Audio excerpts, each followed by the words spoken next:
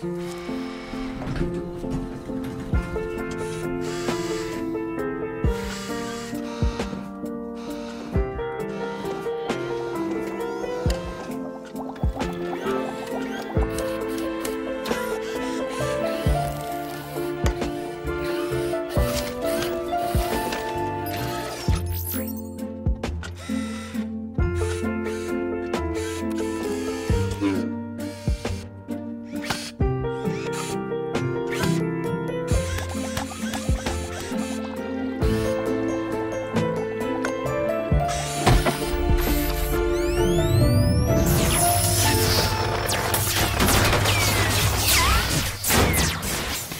Machines can't eat it, machines shouldn't make it.